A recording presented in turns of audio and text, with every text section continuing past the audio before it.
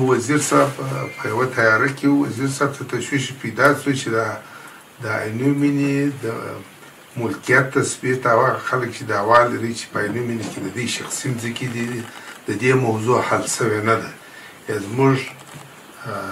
قواله چې لرو د هغې مطابق باید زموږ مځکه جلا سي هغه خلک چې زموږ په شاوخوا کې دي د هغو د اسنادو مطابق وای د هغو مځکه جلا شي نو وزیر صاحب ویل چې د دې تر هغه وخت چې دا حل نه شي تاسو باید ویې ممکن زما امضا ته ضرورت یې همدا او داسې کوم مشکل نشته ماته